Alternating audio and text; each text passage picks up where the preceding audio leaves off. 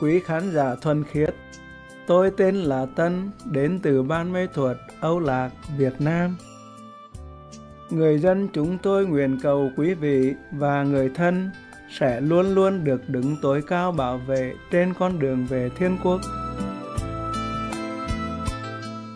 Tiết mục hôm nay với tựa đề Trí hệ đầy tình thương qua bao thế kỷ Phúc âm Gioan chương 14 và trích đoạn từ chương 15 trong Thánh Kinh.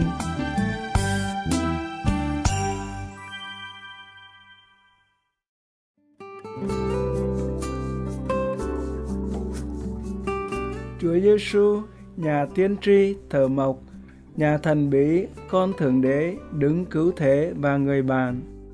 Ngài được biết qua nhiều danh xưng, vì thầy và minh sư kính yêu này chào đời tại Bethlehem, đánh dấu sự khởi đầu của dương lịch. Quan trọng hơn cả là tầm ảnh hưởng của Ngài đến nhân loại. Sự ra đời của người đồng nhất thể với Thượng Đế là một sự kiện thiêng liêng đánh dấu cả một kỷ nguyên. Chúa Giêsu xuất hiện trên sân khấu trần gian trong mảng cỏ đơn sơ với cha mẹ là các tín hữu Do Thái mộ đạo, ông Giuse và bà Maria. Hai vị này đã được cho thấy dấu chỉ của sự vĩ đại của Chúa Giêsu. Theo Thánh Kinh, chúng ta biết khi Chúa Giêsu 12 tuổi, Ngài lưu lại đền thờ Jerusalem để đàm đạo và trò chuyện với các vị thầy. Người thời đó kinh ngạc trước sự hiểu biết của Ngài. Sau đó, Ngài truyền bá phúc âm vào khoảng năm 30 tuổi, sau khi được Thánh Gioan tẩy giả rửa tội. Sự kiện đánh dấu khởi đầu cuộc đời ngắn ngủi của Ngài ngoài công chúng với tư cách một vị thầy. Chúa Giêsu dạy rằng Thượng Đế là tình thương và tha thứ tất cả mọi người có tâm hồn rộng mở. Chúa Giêsu có thể thảo luận kinh điển với những nhà thông thái và học giả, nhưng Ngài chỉ kể những chuyện ngụ ngôn đơn giản để mọi người dễ dàng lĩnh hội. Chúa Giêsu được đặc biệt yêu thương và tưởng nhớ vì sự hy sinh của Ngài. Ba ngày sau khi bị đóng đinh trên thập tự giá, Ngài phục sinh trong huy hoàng và vinh quang trước sự chứng kiến của một số đệ tử. Bây giờ chúng ta hãy cùng mở lòng đón nhận ngôn từ an ủi đầy tình thương của Thượng Đế.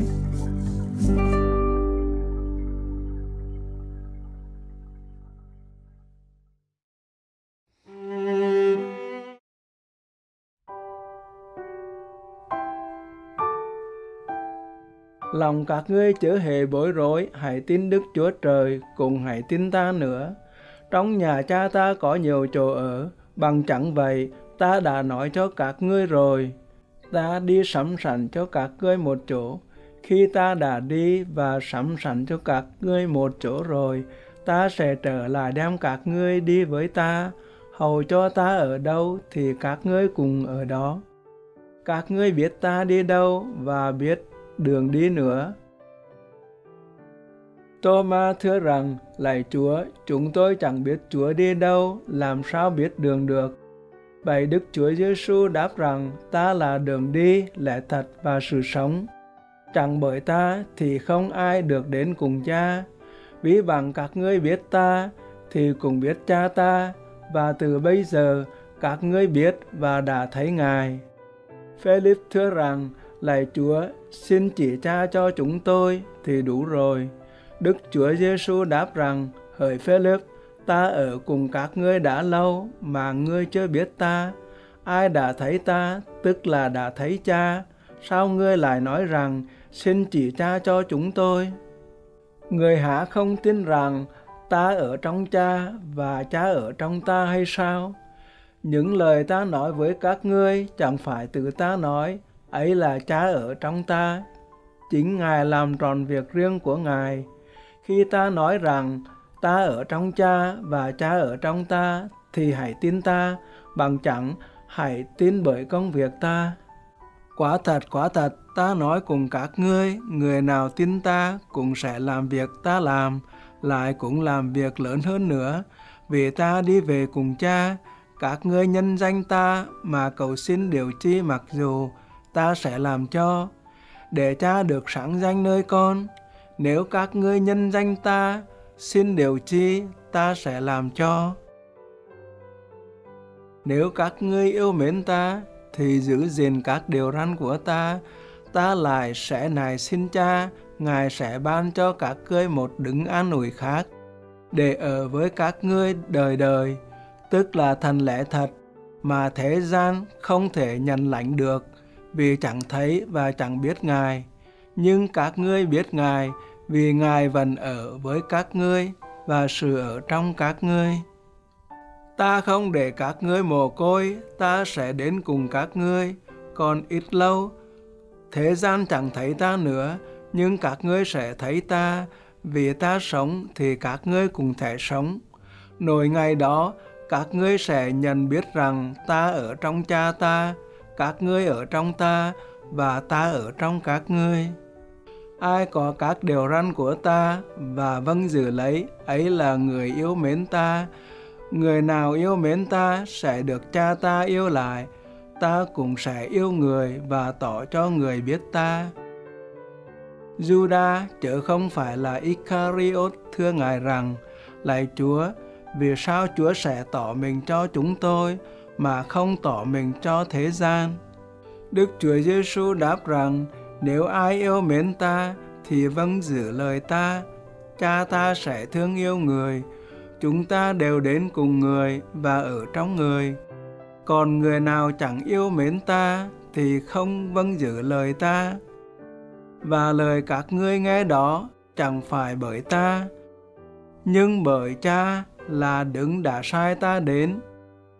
Ta đã nói những điều đó với các ngươi đang khi ta còn ở cùng các ngươi. Nhưng đứng an ủi tức là Đức Thánh Linh mà cha sẽ nhân danh ta sai xuống. Đứng ấy sẽ dạy dỗ các ngươi mọi sự, nhắc lại cho các ngươi nhớ mọi điều ta đã phán cùng các ngươi. Ta để bình an lại cho các ngươi, ta cho các ngươi sự bình an, chẳng phải như thế gian cho. Lòng các ngươi chớ bối rối và đừng sợ hãi. Các ngươi từng nghe ta nói rằng, ta đi và ta trở lại cùng các ngươi. Nếu các ngươi yêu mến ta, thì sẽ vui mừng về điều ta đi đến cùng cha, bởi vì cha tôn trọng hơn ta. Hiện nay, ta đã nói những điều đó với các ngươi trước khi xảy đến. Để khi những điều đó xảy đến, thì các ngươi tin. Ta sẽ chẳng nói chi với các ngươi nữa, vì vua chúa thế gian này hầu đến.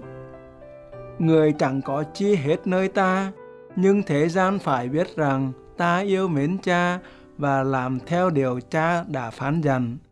Hãy đứng dậy, chúng ta phải đi khỏi đây.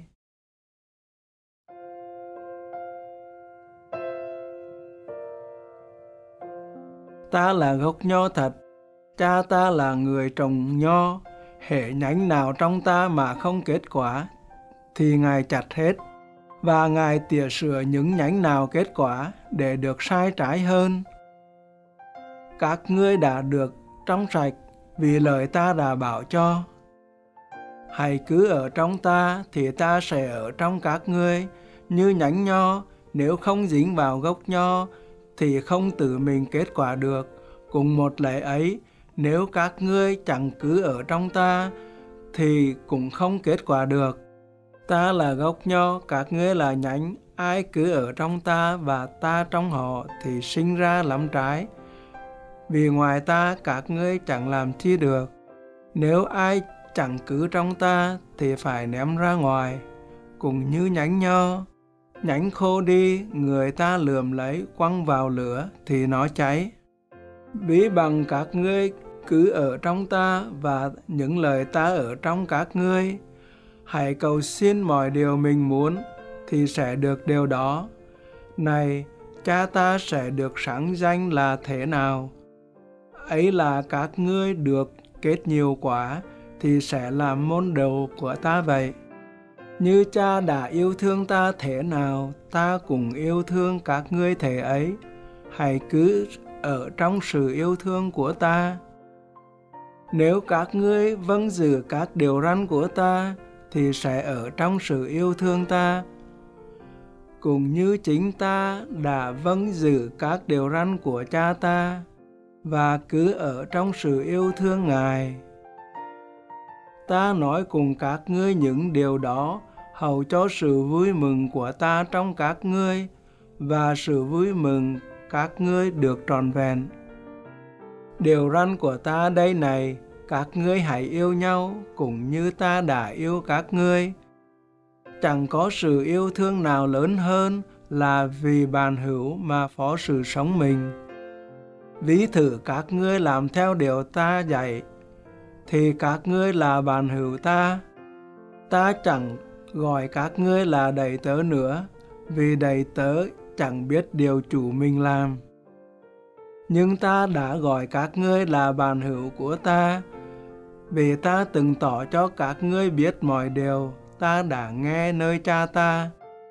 Ấy chẳng phải các ngươi đã chọn ta, bèn là ta đã chọn và lập các ngươi để các ngươi đi và kết quả hầu cho trái các ngươi thường đầu luôn.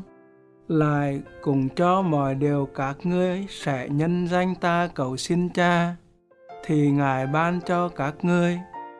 Ta truyền cho các ngươi những điều răn đó. Đặng các ngươi yêu mến lẫn nhau vậy.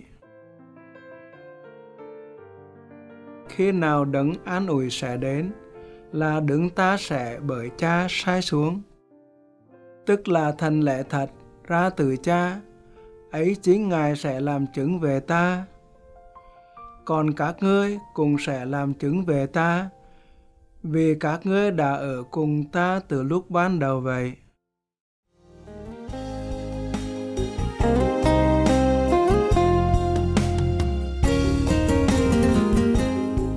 Cảm ơn quý khán giả thanh tín về sự hiện diện từ ái trên quý hệ đầy tình thương qua bao thế kỷ. Phúc âm do An, chương 14 và trích đoạn từ chương 15. Trong Thánh Kinh, trên lời Thánh Khải. Tiếp theo là Christina von Treyen, người con tiến hóa của thời đại mới. Phần 2 của ba phần xin vui lòng giữ đài truyền hình vô thường sư. Cầu mong quý vị luôn luôn tìm thấy niềm an ủi và bình an trong vòng tay ân cần yêu thương của Đức Chúa Trời.